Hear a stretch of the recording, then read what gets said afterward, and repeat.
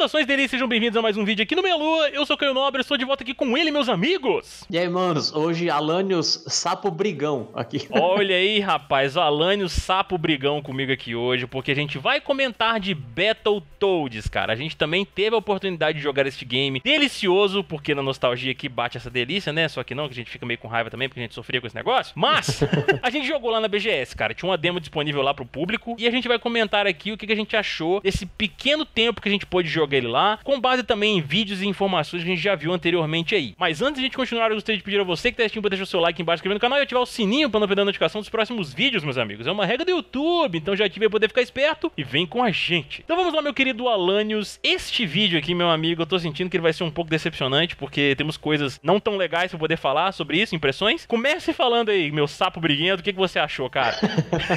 Olha, eu vou falar com uma dor no coração, porque Battletoads é uma das minhas franquias favoritas. Eu queria tanto que esse jogo saísse. Agora eu não quero mais tanto assim.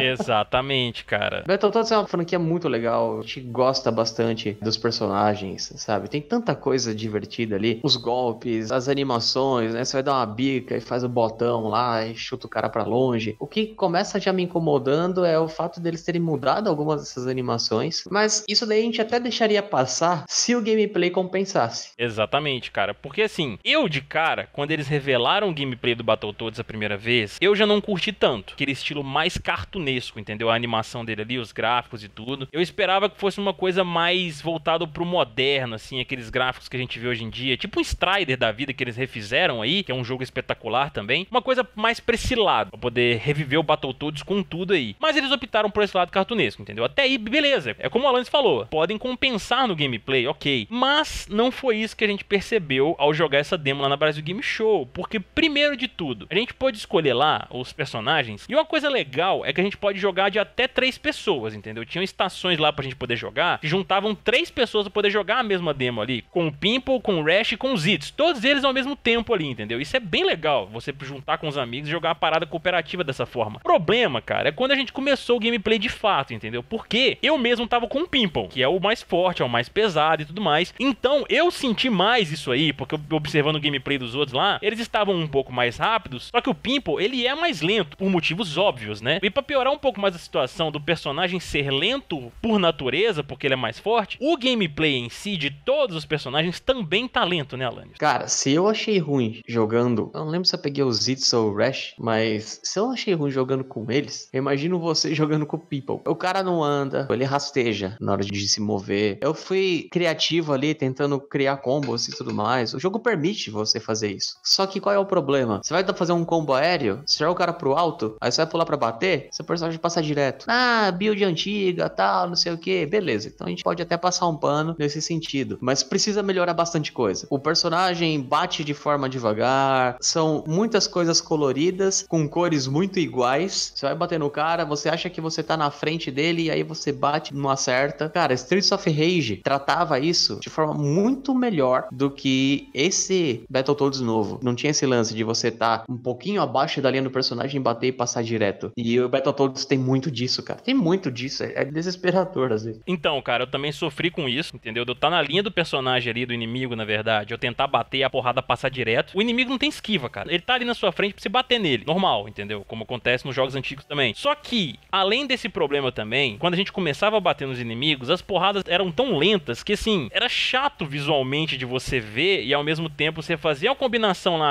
Por exemplo, eu não lembro como é que era o comando que você fazia pros personagens mandarem o inimigo para cima. Aí você depois podia pular e continuar o combo em cima ali, ou pular e apertar um botão que ele, por exemplo, o Pimple, ele virava de costas no ar e mandava um monte de espinhos no cara que tava no chão, entendeu? Cara, a animação disso é muito lenta, cara. Eu falei, caramba, vai dar tempo do cara desviar se ele quiser, ué. Com a rapidez do que esse negócio tá acontecendo aqui, entendeu? Só que os inimigos também são lentos, entendeu? Mas eles não deixam de ser perigosos por isso, porque essa lentidão representa um perigo pra gente também, entendeu? Porque a gente não consegue sair dos golpes com facilidade. Como o Alanis disse, pra gente poder andar no jogo ali, é bem lentão, cara. É bem arrastado mesmo. Vocês podem ver no gameplay de fundo que tá rolando aí quando eles andam. Só que eles têm um dash, que você pode utilizar para você andar um pouco mais rápido, mas o dash ele é muito curto e você não consegue utilizar ele um monte de vezes, assim, sabe? Apertando um monte de vezes o botão. Não, tem um pequeno delayzinho, assim, para você usar uma segunda vez, logo depois que você usa a primeira. São uma série de coisinhas, assim, que estão incomodando bastante. Eu acho que se eles aumentarem a velocidade do jogo e derem uma ajustada nesse esse probleminha que o Alanis comentou, de você tentar bater ali, você tá na linha do inimigo e bater e não pegar, aí sim vai ficar um jogo bacana. Hein? Apesar dos gráficos ainda me incomodarem um pouquinho. O visual incomoda, mas não incomoda tanto quanto o, o gameplay. Isso me pegou muito, assim. Não gostei de algumas animações. Desde que eles mostraram o trailer, eu falei, hum, se ficar desse jeito aí não vai ser legal. Mas, beleza, vamos ver como é que vai ficar a versão final. O que me pegou foi que eles cometeram alguns erros que eu não esperava, né? Um deles foi a questão de deixar coisas da mesma cor, tudo junto ali, fica um pouco confuso. Você vai bater, o personagem ele é muito mais lento, sabe? As versões antigas do jogo não eram tão lentas. Sim. A movimentação do jogo parece mais lenta do que o primeiro Battletoads, cara. Eu não sei se você conseguiu fazer, Alanis, ali, mas é, com pouco tempo de jogo, eu tentei fazer ali, não consegui, não sei se eu tava errando o negócio e tal. Mas não tem a corrida, cara. Você lembra que nos antigos tinha corridinha pra você poder fazer? Eu não lembro se no Battletoads tinha, mas no Battletoads e Double Dragon tinha como você correr. Não, no primeiro Battletoads tinha sim. Tinha, né? Por que que eles não colocaram a bendita da corrida, mano? Ou eu não consegui fazer porque eu sou muito noob, eu sou mesmo, entendeu? Eu acho que realmente não tinha, porque eu não vi ninguém fazendo. Ele só via aquele dashzinho, tentei um monte de coisa ali para ver se ele corria tal, e não tinha nada demais ali. Eu descobri depois um botão que você segurava para ele correr, e aí eu percebi que tinha uma corrida, mas era tipo, não compensava muito, sabe? Porque parecia que ele tava andando no gelo. Eu não sei se é para todos os personagens, eu não consegui ver isso, não tentei fazer, então assim, a gente tá passando aqui as nossas impressões com base na demo que a gente jogou. Então pode ser que tenha essa corrida realmente, como o Alanis comentou, ou então seja específica do personagem que ele tava, não sei. Em suma, o gameplay dele precisa ser melhorado bastante, assim. A gente ficou com aquela sensação assim, cara, podia ser bem melhor, mas ele tá faltando aqui. Essa sensação de poderia ser muito melhor é realmente o, o grande problema. Pois é, cara, exatamente. Eu acho que eles tentaram inovar de alguma forma ali. Falei, pô, não, vamos levar o negócio pra um esquema mais cartunesco, já que o jogo ele era caricato, né, antigamente assim, tinha muita coisa engraçadona, como o Alanis comentou lá, da botona, do chifrão saindo do Pimple também quando ele dava cabeçada. Então, assim, vamos tentar colocar no estilo cartunesco com esses elementos que vai ficar legal, mas não, acho que não funcionou muito bem não, cara. Vamos ver na versão final aí como é que vai ser isso, entendeu? Eles devem ter tido um feedback gigantesco da comunidade. Até onde eu sei, não tem data de lançamento ainda, então eles podem melhorar muita coisa. A questão dos gráficos não vai ter como, porque o jogo já tá feito ali, então não tem como eles mudarem o que já tá ali. O gameplay eles conseguem dar uma mexida ali poder deixar o negócio um pouco mais rápido, deixar mais refinado. Vamos ter uma esperança boa aí pra poder sair um jogo de Battletoads bacana, porque é uma franquia que a gente gosta pra caramba. E agora a gente passa a palavra para vocês, meus queridos amigos que estão assistindo aí agora, para poder comentar aí embaixo o que, que vocês acharam, cara, de tudo que vocês viram do Battletoads até agora, dessa nova versão. Se vocês curtiram as animações, se vocês também tiveram essa impressão do gameplay lento, como a gente que jogou lá na Brasil Game Show. A gente vai adorar ver os comentários de vocês e não se esqueçam novamente de deixar o seu like aqui embaixo, inscrever no canal e ativar o sininho para não perder a notificação dos próximos vídeos, meus amigos. Vamos ficando por aqui, um beijo,